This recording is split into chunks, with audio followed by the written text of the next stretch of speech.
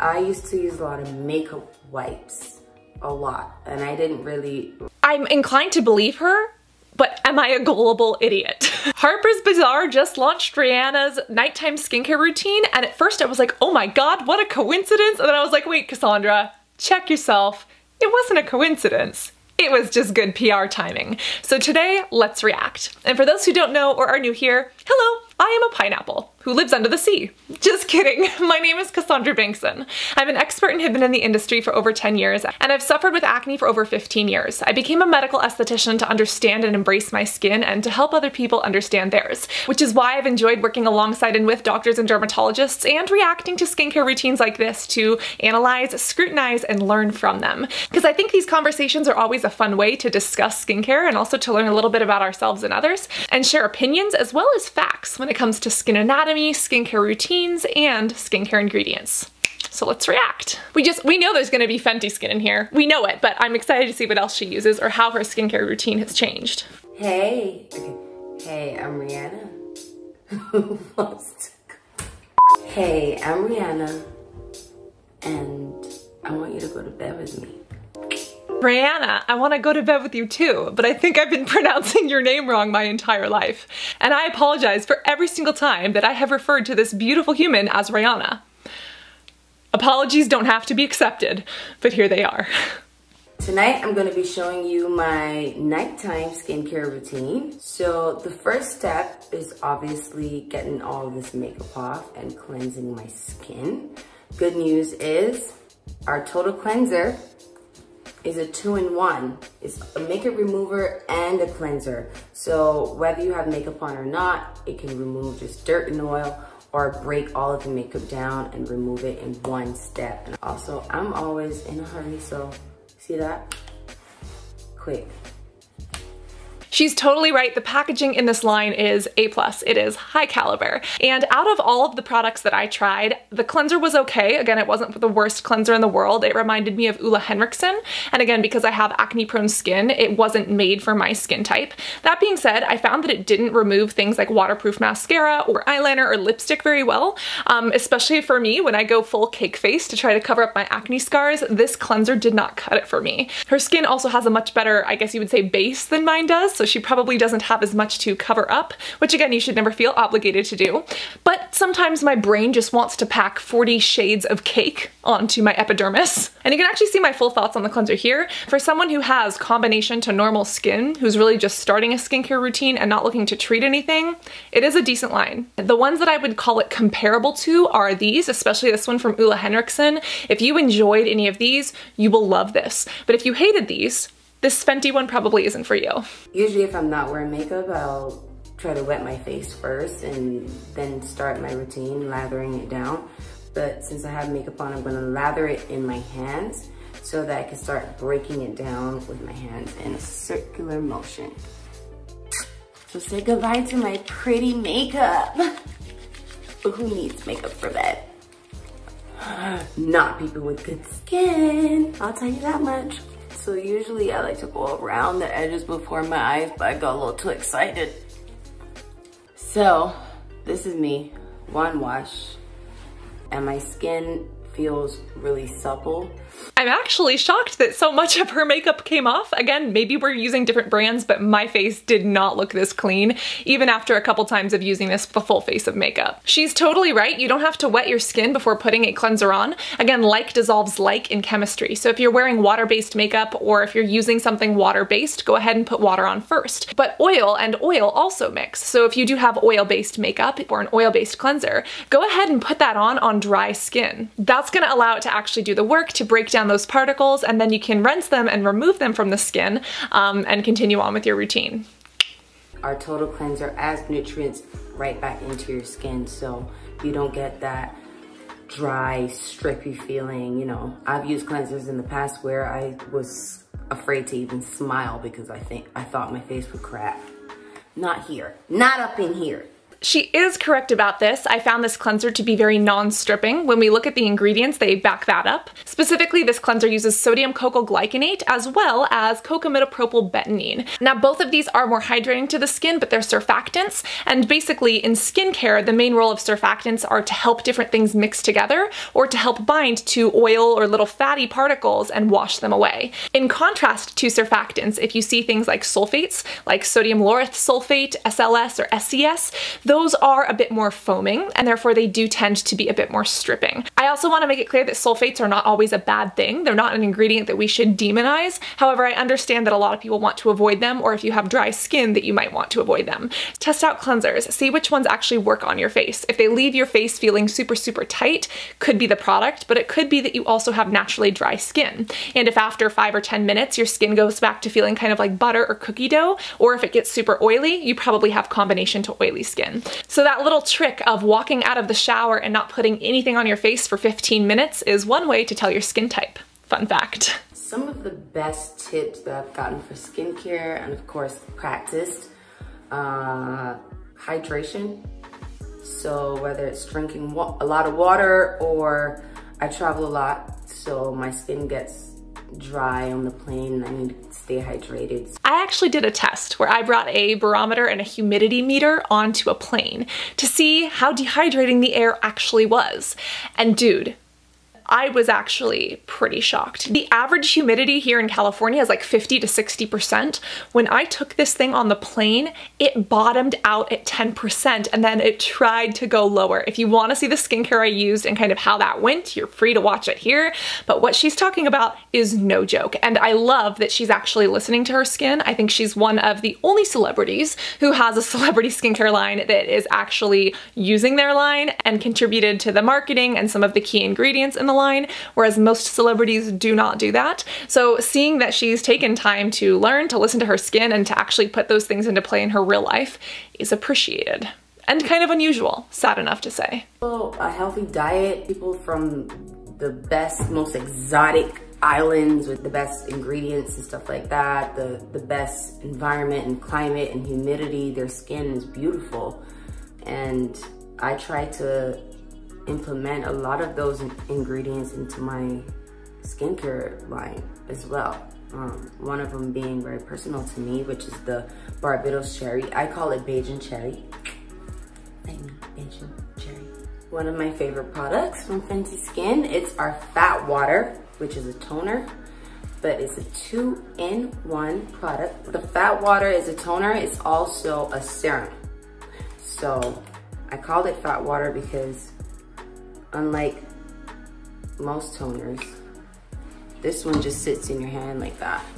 So by now, most of my toners would have already ran through my fingers and you know, it forces you to kind of use like cotton pads and stuff like that. This one, you really could just put it right in your hand and break it into your skin. This is one thing that when the marketing came out with this, I was like, wait, a toner serum, toner serum.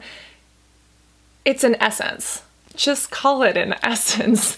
This was probably inspired by, again, her own use of the product, what her skin needs, and also from K-Beauty. But I did think that this was a pretty cool product. Again, it wasn't my favorite from the line. If you are someone who enjoys Glossier, I think that you will love this product. But if you're someone who, again, is looking for more clinical or treatment-based, there's really not much in here that's gonna do a lot for you. It does have the Barbados cherry that she mentioned. It does have niacinamide and hyaluronic acid. These can, again, impart some of that hydration to the skin.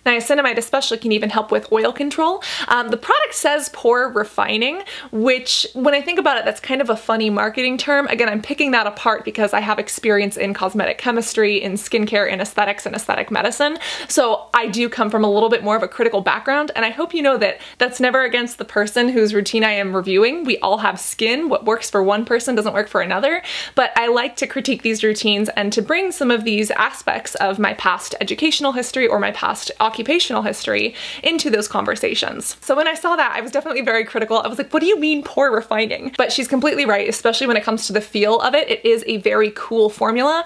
The package has that little belly button on it so that you're not wasting product. And I love what she's bringing up about being eco-friendly. If you don't have to use a cotton pad in order to apply this to your skin, just emulsify in your hands and pat it on. It does not strip away your skin.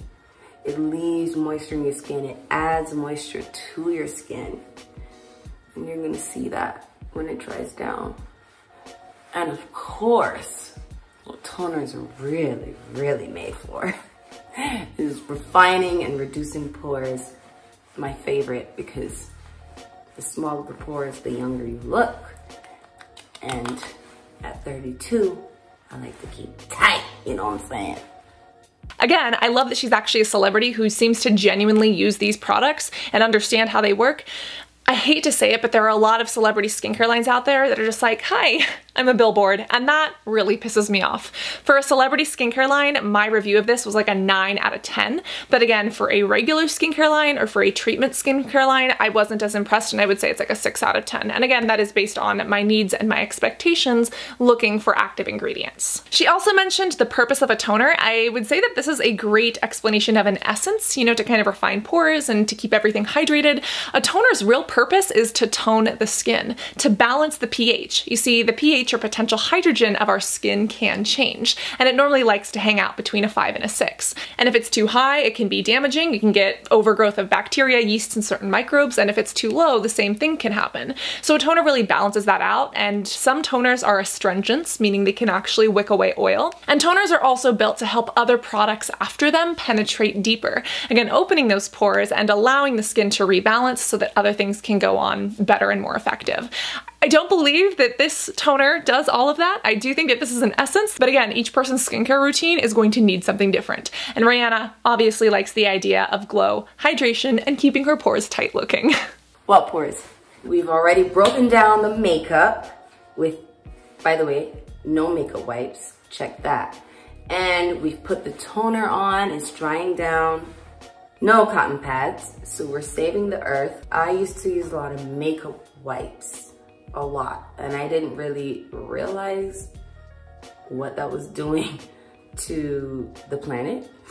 And so I think it's kind of a wrap for makeup wipes. We love an eco-conscious queen who puts her money where her morals are. I understand that being able to afford eco-friendly skincare is sometimes a luxury and that not everyone has that privilege. However, the fact that she's making an effort, the fact that she learned about makeup wipes and actually stopped using them, I'm personally so impressed because I feel like, especially as humans, it's hard for us to make changes, especially if they disrupt our way of living or our ease of living. So the fact that she's done that and then worked to create products that allow her to do that and then sits here and spreads this this message to the millions of people who follow her and look up to her is so important. And that brings me into our third step, which is a product that I'm really, really proud of. Fenty Skin Moisturizer has an added sunscreen, SPF 30, and our SPF is coral reef friendly.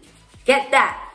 So Another big thing about SPF moisturizers and sunscreen in general is that it usually leave this really white cast and a horrible, horrible smell. But I also want all women of all skin tones and all colors to be able to use this moisturizer without that gray white cast being left behind.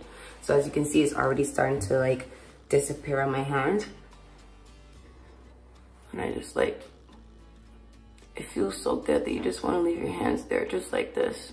For me, the product I would splurge on the most is moisturizer. Anything to do with moisture, whether it's face or body.